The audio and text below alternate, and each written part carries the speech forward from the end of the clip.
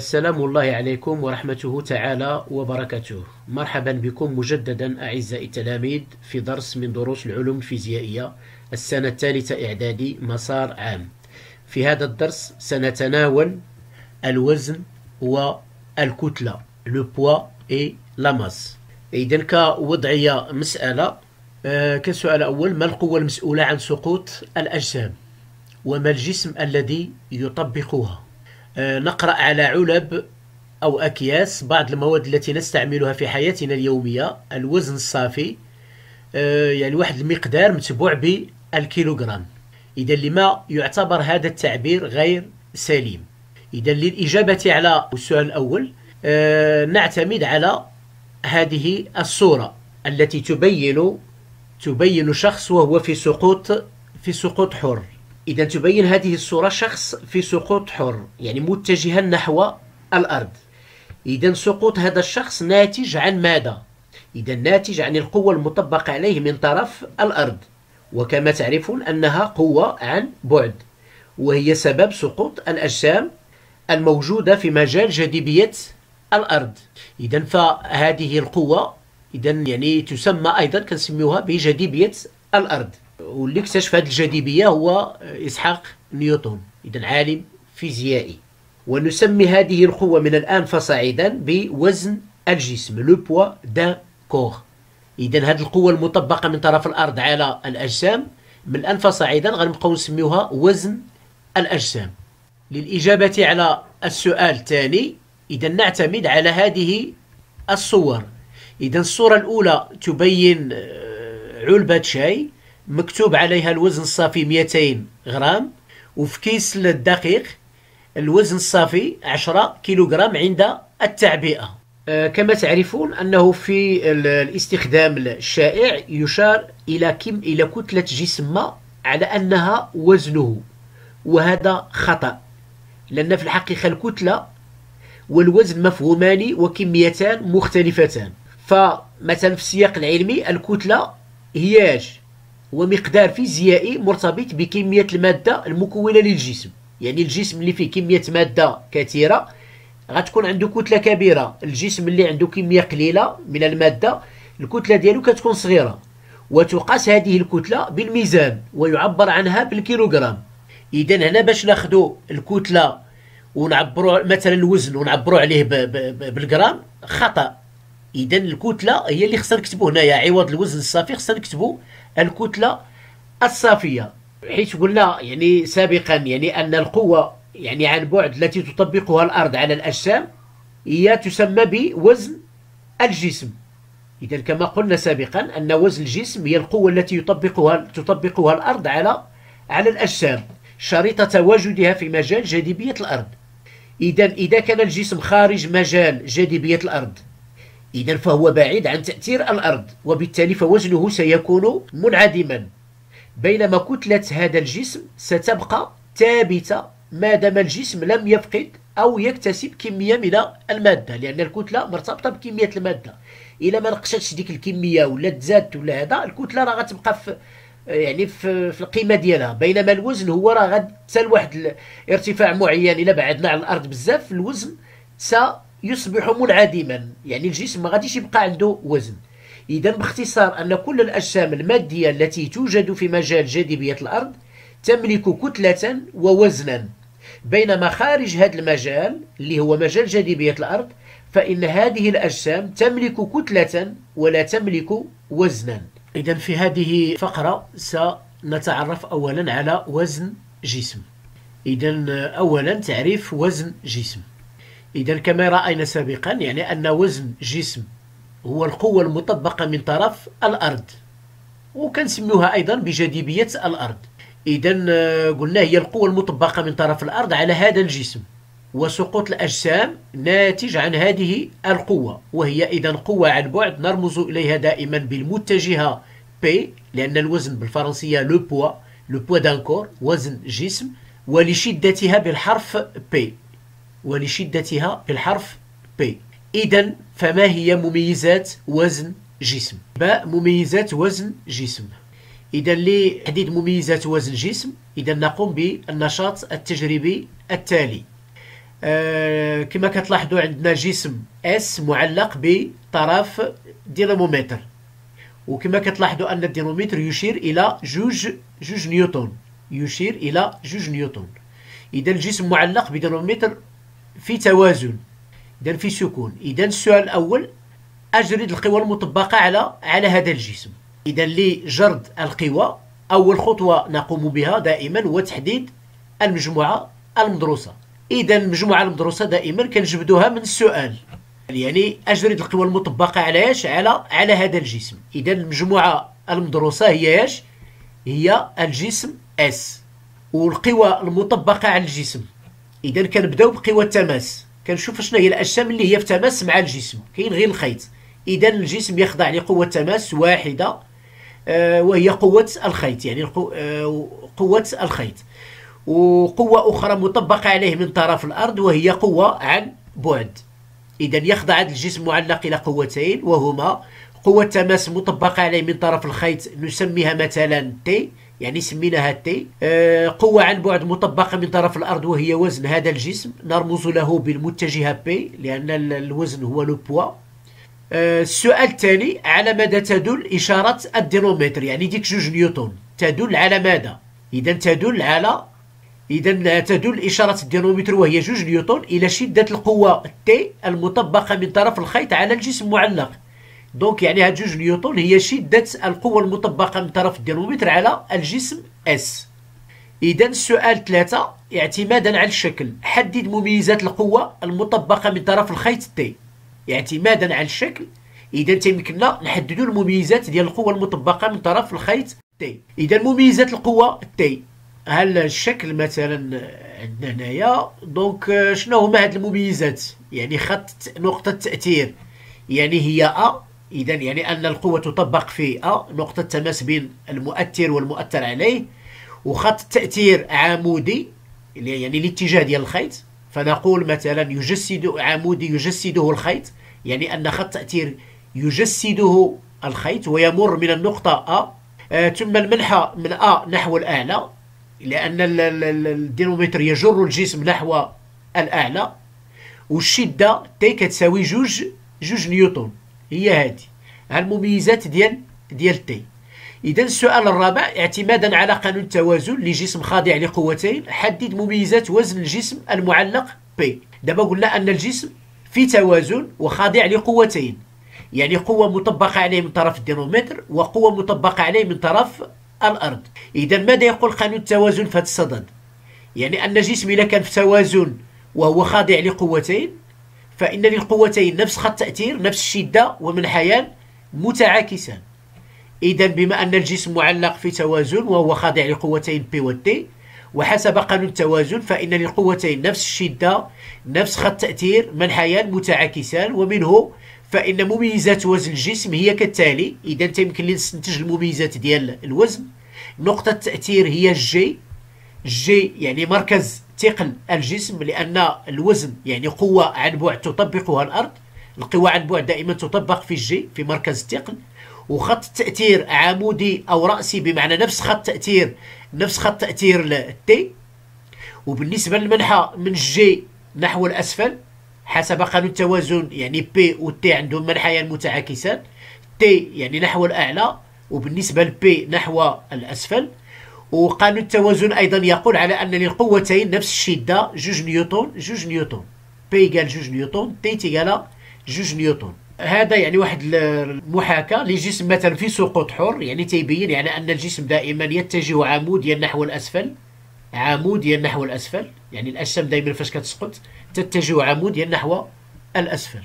إذا ماذا نستنتج؟ إذا من هذا النشاط التجريبي. إذا كاستنتاج.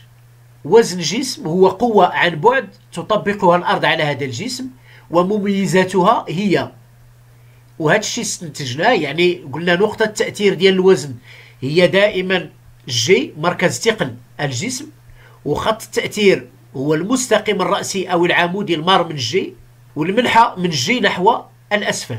donc هاد ثلاثة المميزات دائما كيتعاودوا يعني دائما الوزن كيطبق في ال G في مركز الثقل والخط التأثير ديالو دائما عمودي يعني أو رأسي والمنحى دائما نحو الأسفل.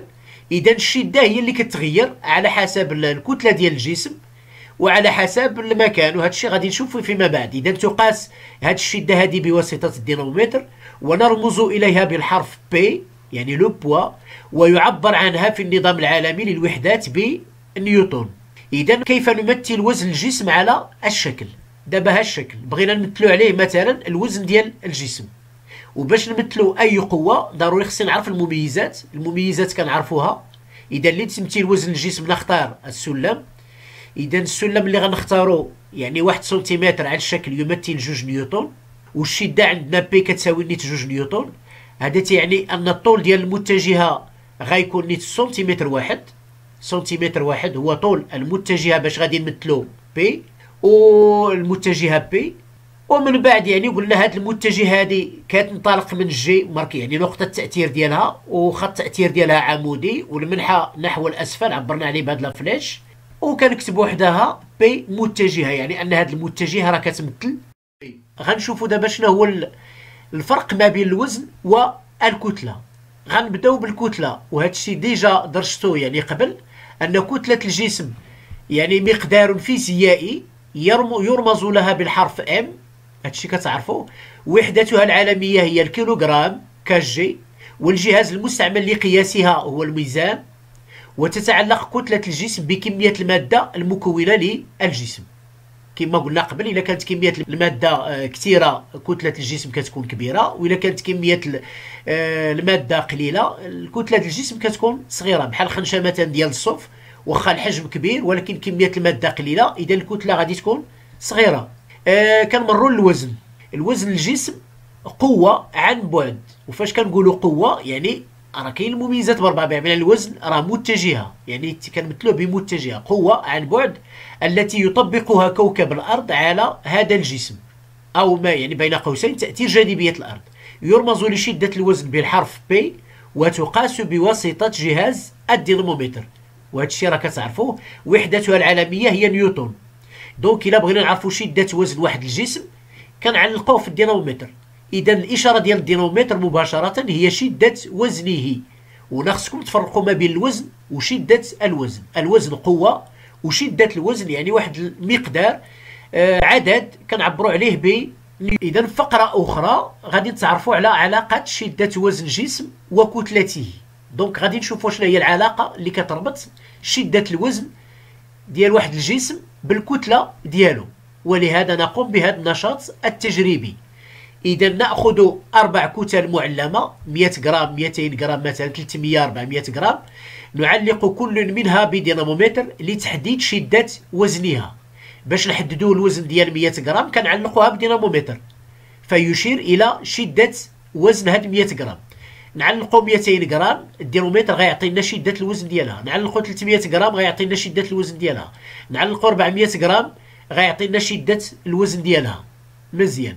إذا النتائج المحصل عليها هي كالتالي آه هنا الكتلة شدة الوزن آه ثم النسبة P على m إذا الكتلة كنرمزوا لها ب m شدة الوزن كنرمزوا لها ب P آه donc هاد الكتل هادو خصنا نحولوهم للكيلوغرام. 100 غرام بالكيلوغرام هي 0.1 آه 200 غرام هي 0.2 300 غرام هي 0.3 400 غرام هي 0.4 آه شدة الوزن اللي كيعطيها الدينومتر فاش كنعلقوا فيه 100 غرام هي 1 نيوتن وبالنسبة ل 200 غرام يشير إلى 2 نيوتن بالنسبة ل 300 غرام يشير إلى 3 نيوتن بالنسبة ل 400 غرام يشير إلى 4 نيوتن إلا حسبنا هذه النسبة هذه بي على إم نقسموا الشدة على الكتلة يعني 1 على 0 1 إذا كتعطينا 10 وإلا قسمنا جوج على صفر جوج غتعطينا 10 وإلا قسمنا 3 على صفر 3 غتعطينا 10 وإلا قسمنا 4 على صفر 4 غادي تعطينا 10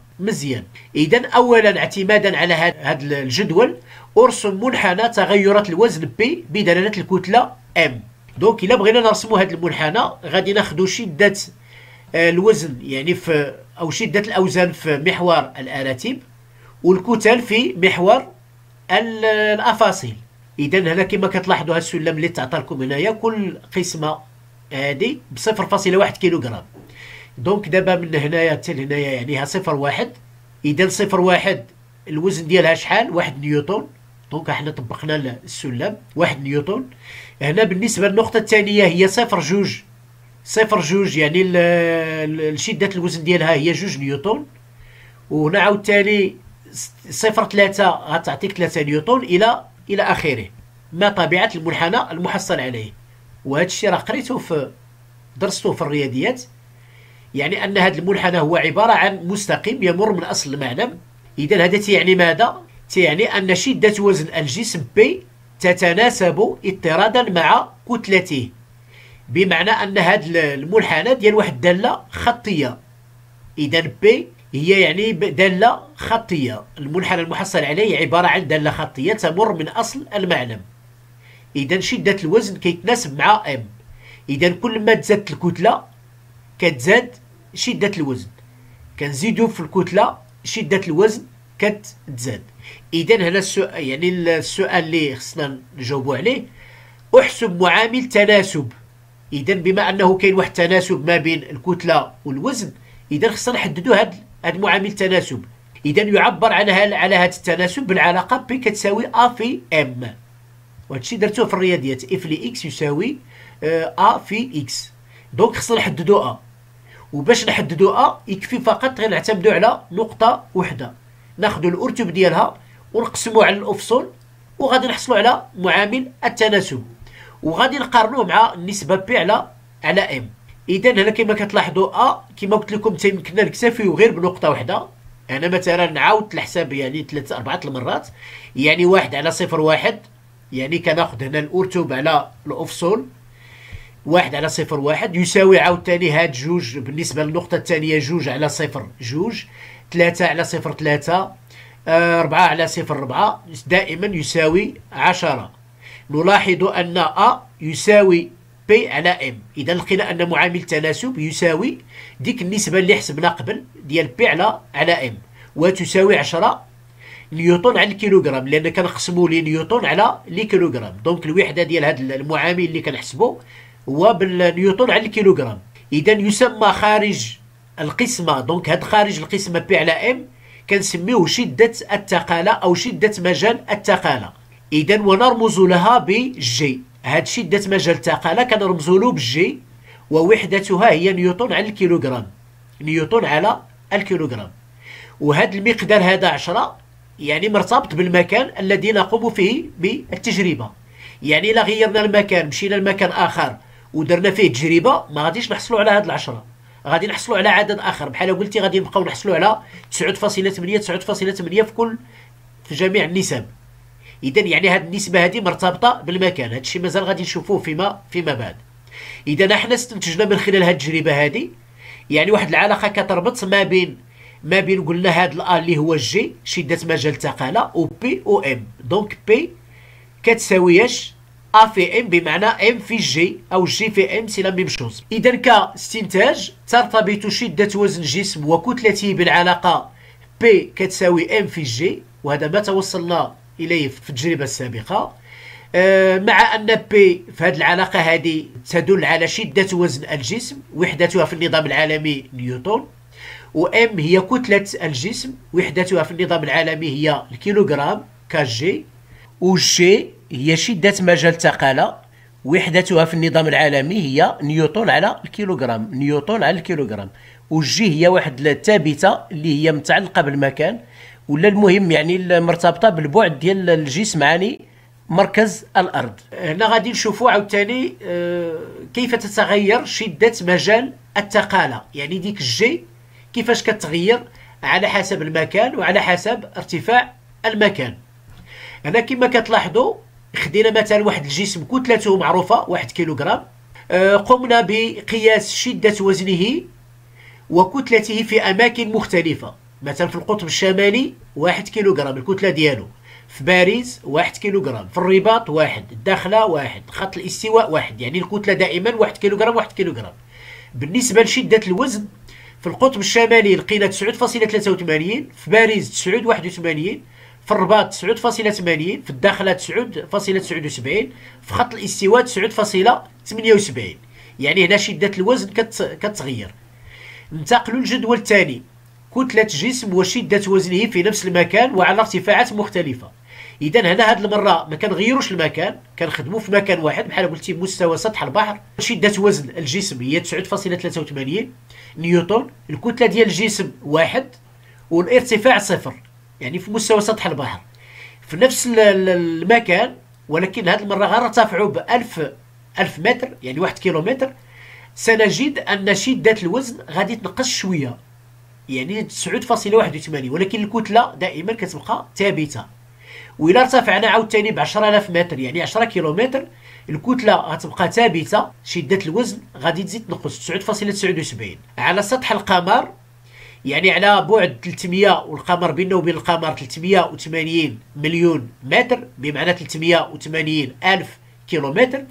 إذا الكتلة غنلقاوها دائما 1 كيلوغرام ولكن شدة الوزن لاحظوا 1.62 نيوتن يعني الوزن نقص من 9.83 ل 1.62 ولا استمرينا في الابتعاد عن المكان دائما عموديا يعني في نفس المكان. هذه المرة مثلا واحد الارتفاع معين ما حددناش. المهم يعني كنا خرجنا على مجال جاذبية الأرض. الكتلة غادي تبقى في واحد ولكن شدة الوزن يساوي صفر. يعني الجسم خارج خارج مجال جاذبية الأرض. يعني ما كيوصلوش التأثير ديال الأرض. اذا هنا شنو كنلاحظوا كملاحظة إذا كنلاحظوا أن كتلة الجسم تبقى ثابتة لا تتغير بتغير المكان أو ارتفاع المكان الذي ننجز فيه التجربة. الملاحظة الثانية أن شدة الوزن كما لاحظتوا هنايا كتغير تتغير شدة الوزن الجسم بتغير المكان أو ارتفاع المكان الذي ننجز فيه التجربة. إذا donc شنو هو الاستنتاج؟ إذا الاستنتاج الأول يعني الكتلة بما أنها ما كتغيرش إذا الكتلة مقدار فيزيائي ثابت لا يتغير بتغير المكان أو ارتفاع المكان. إذا الكتلة ما عندهاش حتى شي علاقة لا بالمكان ولا بارتفاع المكان. الاستنتاج الثاني أن شدة وزن جسم مقدار فيزيائي متغير كيتغير فهي تتعلق بالمكان أو ارتفاع المكان الذي ننجز فيه التجربة. وباختصار يمكن القول أن شدة وزن الجسم ترتبط فقط بعامل وحيد وهو بعد الجسم عن مركز الأرض. حيث هنا فاش كنغيروا المكان؟ يعني ولا ارتفاع المكان راه كنغيروا المسافة ما بين الجسم ومركز الأرض. إلا كبرنا هذه المسافة شدة الوزن يعني كتضعف وإلا صغرنا المسافة بمعنى إلا قربنا قربنا الجسم من مركز الأرض كتزاد شدة الوزن ديالو. اذا هذا الذي هو مركز الجذب. اذا مركز الأرض هو مركز الجذب هو اللي كيجبد الأجسام ماشي سطح الأرض. فكلما كانت هذه المسافة كبيرة كلما صغرت هذه الشدة والعكس صحيح. اذا كخلاصة الكتلة لا تساوي الوزن. دونك إحنا خرجنا بهذه الخلاصة أن الكتلة ماشي هي الوزن. يعني مفهومان مختلفان. الكتلة لا تساوي الوزن. فالكتلة مقدار فيزيائي ثابت نرمز إليها بالحرف M ويعبر عنها في النظام العالمي بالكيلوغرام وتقاس بواسطة الميزان بينما الوزن هي قوة عن بعد شدتها تتغير بتغير المسافة بين الجسم ومركز الأرض ويعبر عن هذه الشدة بالحرف P وتحدد تجريبيا بالدينامومتر وحسابيا بالعلاقة. اشنا هي العلاقة؟ هي P égale m fois g بحيث أن P في هذه العلاقة كتمثل ماذا؟ أو تدل على شدة وزن الجسم. بنيوتن تتعلق هذه الشدة هذه بالجسم وببعد الجسم عن مركز الأرض. إذا دابا هذه الشده هذه مرتبطة بالكتلة الجسم. واش الجسم عنده كتلة كبيرة ولا صغيرة؟ وأيضا ببعد الجسم عن مركز الأرض. وبالنسبة للمقدار ام يعني الكتلة آه، كتلة الجسم يعني كنعبروا عليها بالكيلوغرام وتتعلق آه، بالجسم. إذا الكتلة الجسم كتعلق فقط بالجسم. يعني ما مرتبطش لا بالمكان ولا بارتفاع المكان. بالنسبة للجي شدة مجال الثقالة الوحدة ديالها نيوتن على الكيلوغرام وتتعلق ببعد الجسم عن مركز الأرض اللي هو مركز الجذب. donc هاد الجي كنسميوها ثابتة ثابتة المكان يعني خاصة بالمكان. غيرتي المكان ولكن هنا ماشي بضروري المكان بمعنى آه، على حسب واش غيرتي المسافة بين الجسم ومركز الأرض ولا لا. donc إلا تغيرت هذه المسافة جي غادي تغير إذا أعزائي التلاميذ إلى اللقاء في فيديو آخر إن شاء الله.